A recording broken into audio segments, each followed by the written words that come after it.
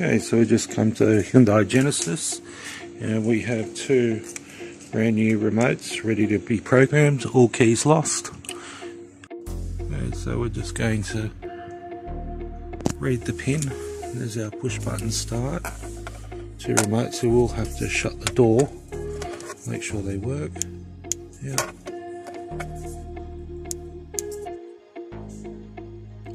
Okay, so now we program it, disconnect the Smart Pro and test each remote.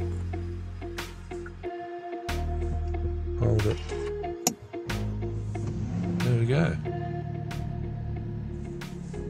What a nice car. And we'll try the other remote. And that's it. All keys lost. Genesis. Thanks for watching.